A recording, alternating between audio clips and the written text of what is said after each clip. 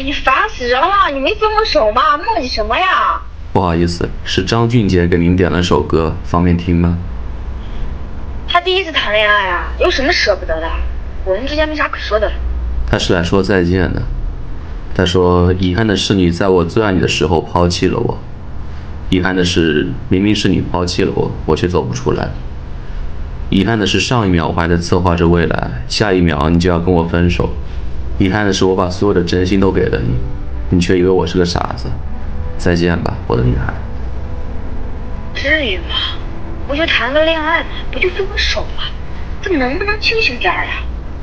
我已经谈过九个男朋友了。怎么说呢？让他忘了我吧，我配不上他的深情的。可惜不是你